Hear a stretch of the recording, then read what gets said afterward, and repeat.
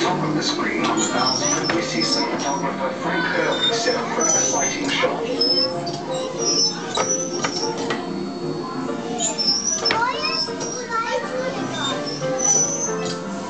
The crow's nest was always manned by lookouts, directing the helmsman below the clearest course through the thick ice.